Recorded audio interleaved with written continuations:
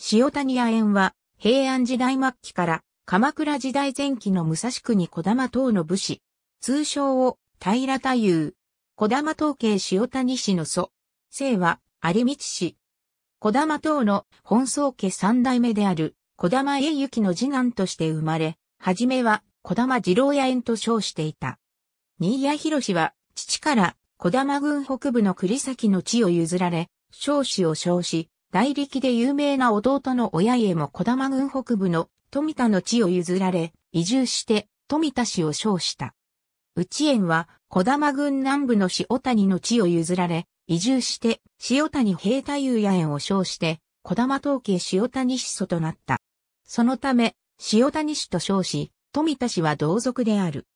出生地については、父家行が河内金森、新谷博士が川内守と記述されていることから、小玉郡の河内村の生まれと考えられる。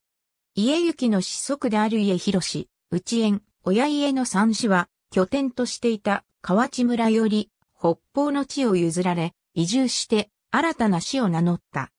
青年に関する考察として、家縁の子息の一人である、家行が、上級3年に71歳で亡くなったとあるため、内縁は12世紀初めの生まれとみられる。子息は、着男に、塩谷京園、塩谷これ広、塩谷家業などがいる。